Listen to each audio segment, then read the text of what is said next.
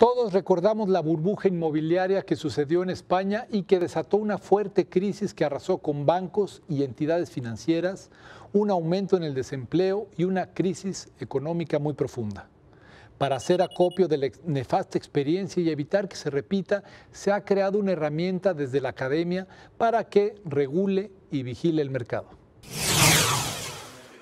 La UPV y empresas referentes del sector inmobiliario han creado la Cátedra Observatorio de la Vivienda.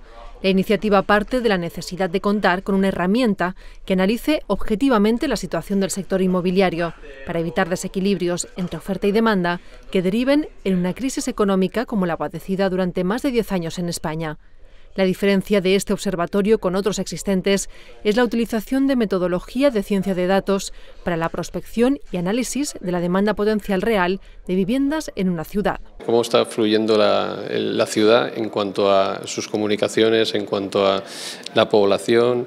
Bueno, con datos tan transversales como puede ser la atención en centros de primaria o la inscripción de los niños en los colegios y cómo va evolucionando hasta el tráfico propio rodado, los autobuses, consumos energéticos, consumos de tarjetas de crédito, es decir, detectar las necesidades reales de la ciudad y hacerlo de una manera transversal. La otra pata del observatorio se fija mucho en los, precios y la evolución de los precios en la oferta y si son sostenibles con las rentas que hay o que se esperan en los próximos años. Formación, becas, premios, prácticas en empresa, jornadas de divulgación y visitas a empresas son algunas de las actividades que se llevarán a cabo.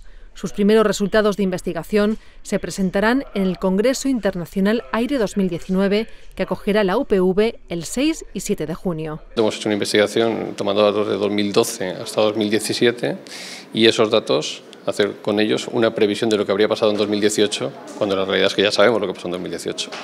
Y la verdad es que son muy esperanzadores porque tenemos diferencias muy, muy poco significativas en cuanto a cómo ha evolucionado realmente el precio en los diferentes distritos de la ciudad. La idea es eso, consolidarlo como modelo y poder exportarlo a otras ciudades.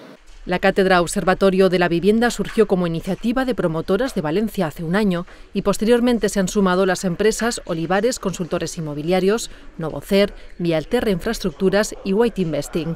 Próximamente se unirán a la cátedra el Colegio de Arquitectos Técnicos y el Ayuntamiento de Valencia.